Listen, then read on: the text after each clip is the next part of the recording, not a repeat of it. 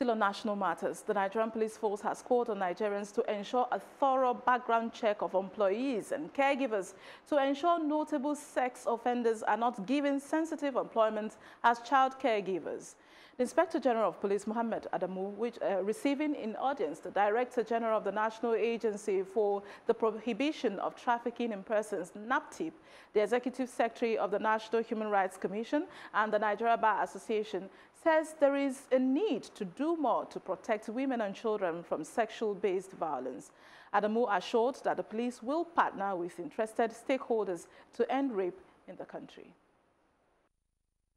The leadership of the police NAPTIP and National Human Rights Commission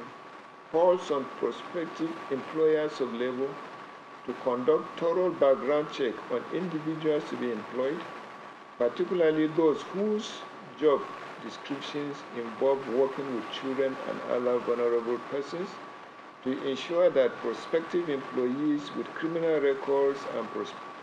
propensity for sexual offenses are not employed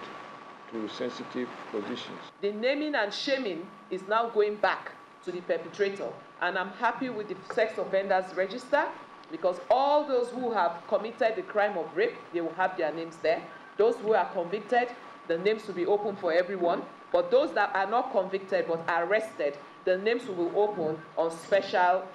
application. We'll be working with the Parliament, the National Assembly, and the State Houses of Assembly on the part of the National Human Rights Commission we are reaching out to all the state houses of assembly as well as the National Assembly. And um, with this collaboration now, the experiences of